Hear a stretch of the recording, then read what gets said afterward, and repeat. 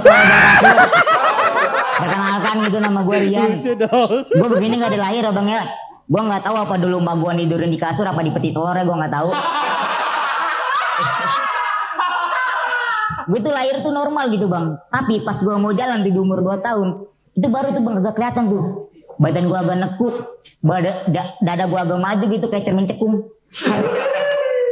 Ih, gue tuh penasaran gitu kenapa gue bisa begini ya kan ya Gue tanya sama gue tuh bang gue nanya sama gue, mah kenapa dia kayak gini mah? Mah gue diem, gue nanya lagi mah kenapa dia begini mah? Mah gue cuma jawab gini bang, ya nak, mungkin aja Allah nitipin anak seperti kamu ke mama. Tapi kamu tenang aja nak, kamu itu anak mama yang paling ganteng. Anjir ya. Seganteng dari mananya ya kan? Badan gue aja kayak setengah mio nih bang nih, ganteng dari mananya? ganteng dari mananya gitu maksud gue. Cuman ya gue bekas stand up waktu gue jadi percaya diri gitu ya. Kekurangan gue ini sering gue bercandain gitu. Jadi ada temen gue nih bang, ada temen gue ngecengin gue dengan kayak gini. Lian, badan lu kayak besar TK. Gue jawab, bukan ya. Ini tempat sebut main skateboard. Lu nggak percaya nih, lu lihat nih ada Tony Hawk nih lagi ngajarin tuh. Tuh lihat tuh. Dia punya badan kayak gini tuh isi spek bang, isi spek. Musuh terbesar gue tuh adalah anak kecil bang. Gue sebel banget nih sama anak kecil. Kalau kalau ngeliat gue tuh selalu mandang sebelah mata. Pernah nih pas jumatan bang ada dua biji anak kecil bang sebelah gue duduk, duduk sebelah gue dibisik-bisikan bang, bisik-bisikan kayak gini nih. Eh, lihat tuh orang itu tuh nggak ada lehernya. Temennya jawab, nggak apa-apa ya nggak ada lehernya daripada nggak ada badannya lu gimana? Lagian enak nggak ada leher nggak bisa digigit Dracula. Iya tuh badannya aneh banget ya. Maksud gue gini loh, gue ini kan cacat ya bang ya, nggak budek. Dari tadi gue dengar lu ngomongin gue apaan aja. gue dengar lu ngomongin gue.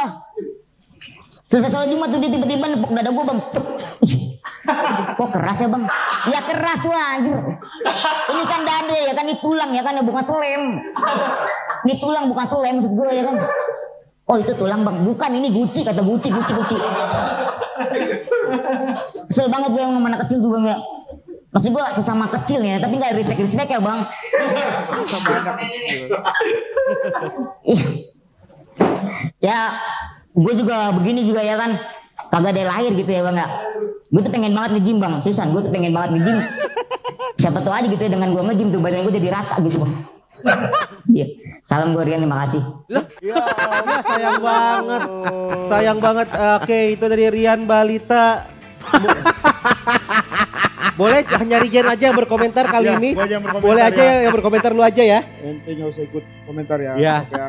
Ya kalau menurut gua eh, apa ya materinya tuh kayak masih belum terlalu ini Belum loh, kayak ya? masih belum mateng gitu. Iya.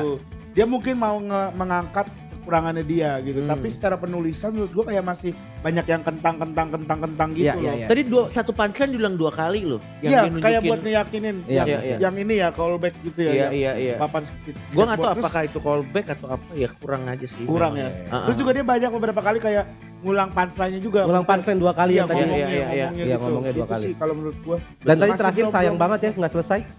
Itu pasti nggak selesai tadi Nggak kayaknya dia ngeliat durasi deh. Dia gua. durasi mungkin. Oke, Feeling gue oke. sih ngeliat durasi. Padahal banyak yang bisa digali Iya. sebenarnya. Tapi memang ya cuman dia yang bisa bisa menceritakan itu. Kalau Iya. orang lain jadinya malah bahaya. Iya. Oke, bagus orang ya. lain ya-. Oke, mungkin ada yang mau ditambahin dikit lagi? Udah udah cukup lah. Udah cukup ya, aman ya. Cok Oke. ya. Aman Oke, aman Cok ya, aman Iya. ya, Cok ya.